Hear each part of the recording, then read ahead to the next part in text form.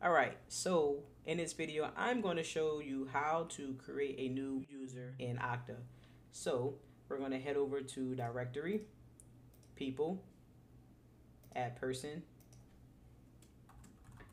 first and last name, and note that the username will always be an email. So your primary email and your username will always be the same.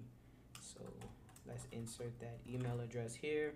Uh, we're not adding a secondary email. We're not adding any groups right now. And the activation status should be set to activate now. Why? Because we want the account to be active immediately. Now, let's say you wanted to activate the account later, right?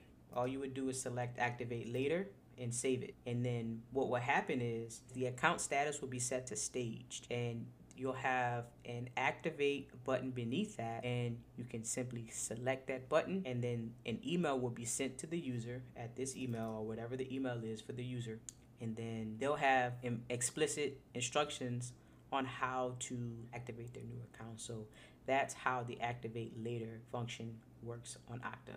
But for now, we're going to make sure our status is activate now because we want it to be activated right this second. So Let's move forward and set up the password.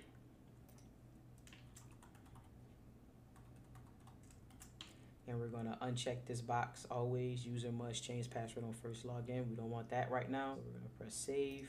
Now it says the person was added, right? And the account is active, but we don't see that account that we just created. So what we need to do is simply refresh our screen.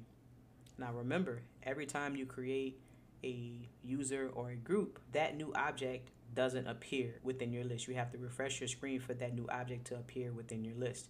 So always remember to refresh your screen after you create a new user or a, a group. So that being said, Kevin is there. Uh, let's confirm if Kevin's account works. So let's see if we can log into it. So we're going to log out of our admin portal. And we're going to just put in Kevin's email address and password.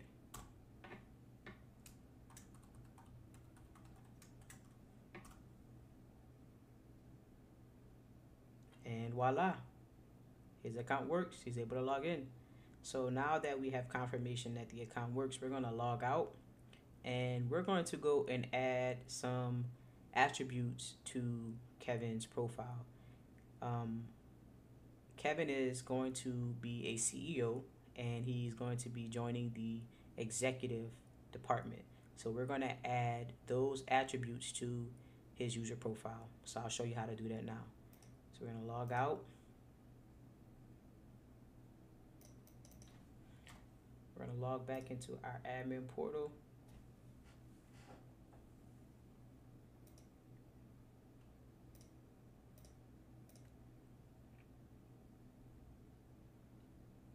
Go to admin.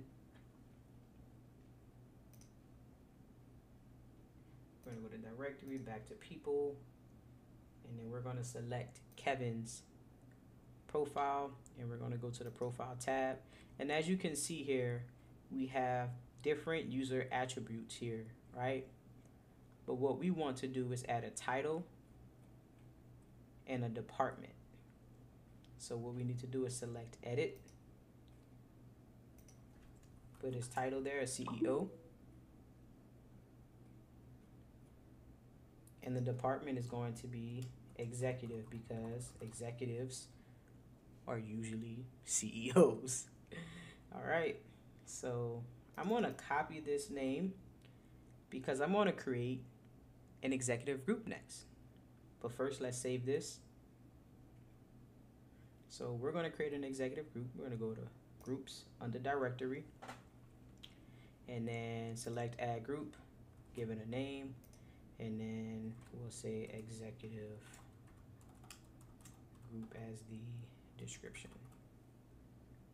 Save it.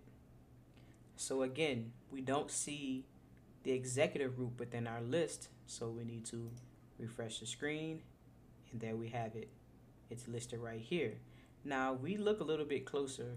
There are no users within the executive group. So what we want to do is we want to automate the, the group provisioning process, meaning we want Kevin to be added to the executive group without us manually adding him to that group. So that means we need to create a group rule. So we're going to go to rules and select add rule. So we're going to call this rule executive.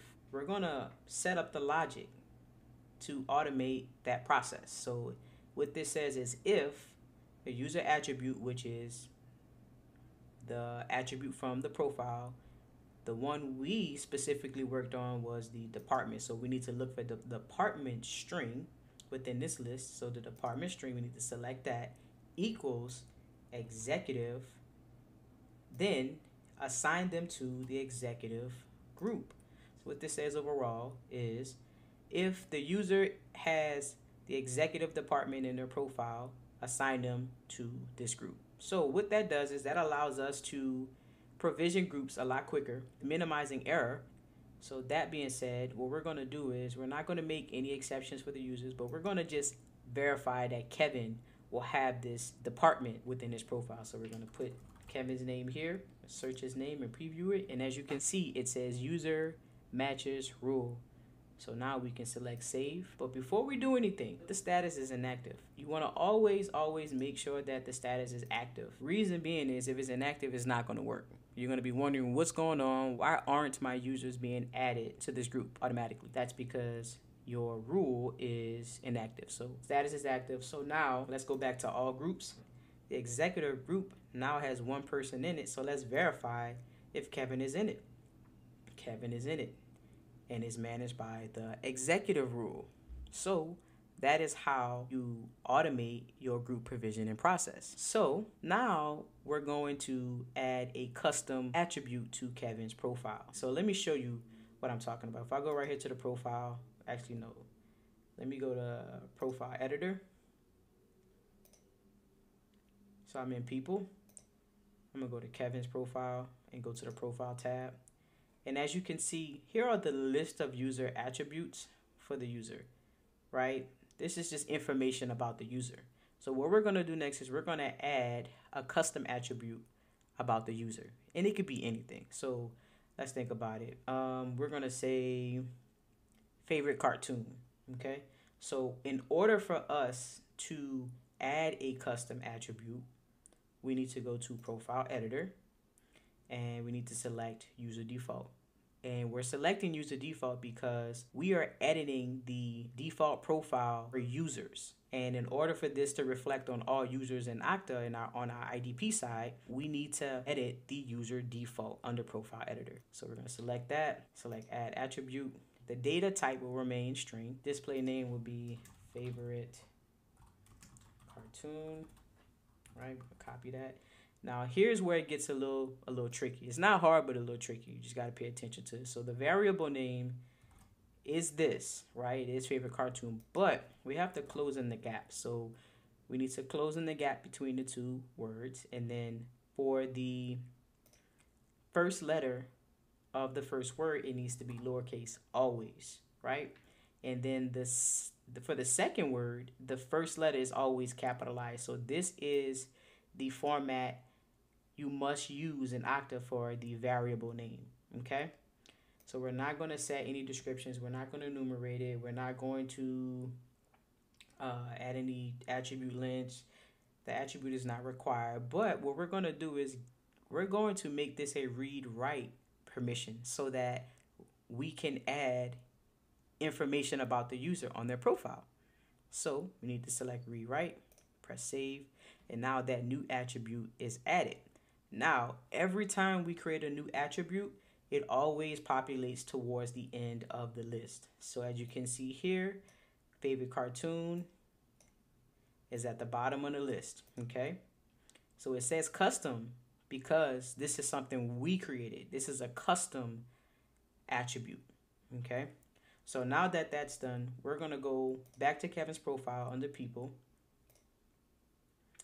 profile, and then we're going to check to see if that attribute appears.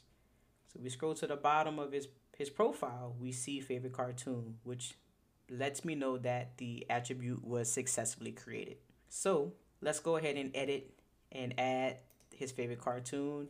And his is Ed, Ed, and Eddy.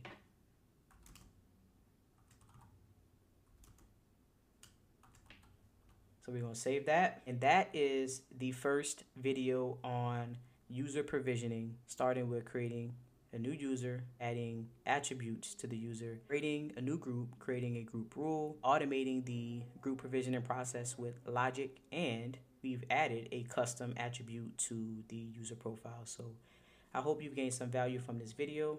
If you have any questions, feel free to drop me a comment or send me a message. I'd be more than happy to get back to you. And as always, be blessed.